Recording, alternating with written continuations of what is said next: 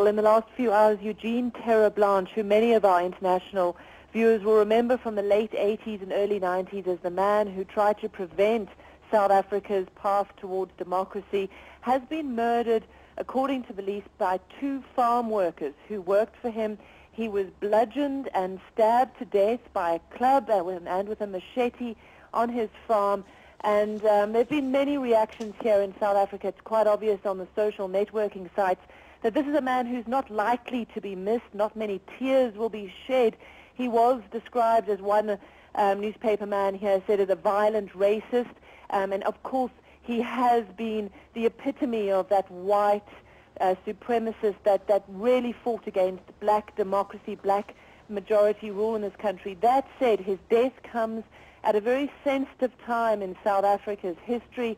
Um, there's very deep sense of racial polarization here at the moment, and many people here feel that um, his death and his murder will be seen in a political uh, stance rather than perhaps say as a criminal act.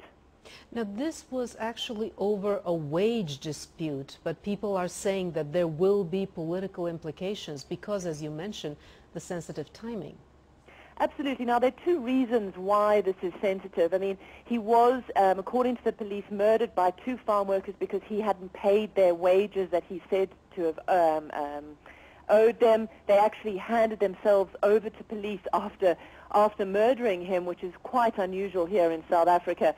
But in terms of the political context, in terms of um, the situation that South Africans find themselves in today, first of all, there is a huge increase in the number of farm murders white Afrikaners, uh, many farmers themselves are fear for their safety, um, living out in rural, um, isolated, remote areas, and there has been an increase.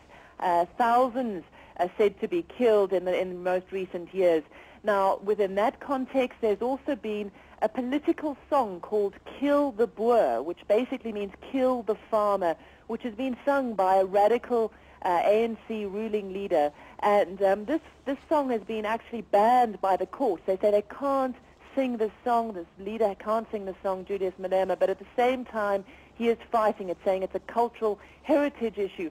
Now, it's within this context of can you, um, can you sing the song about killing the farmer, and within that, the, the, the, the, archetypal stereotype of the white Afrikaner has just been killed in the last few hours in South Africa and many people fear there's going to be some retribution by the small pockets of, of white supremacists who will feel that uh, perhaps Eugene Terreblanche was a martyr.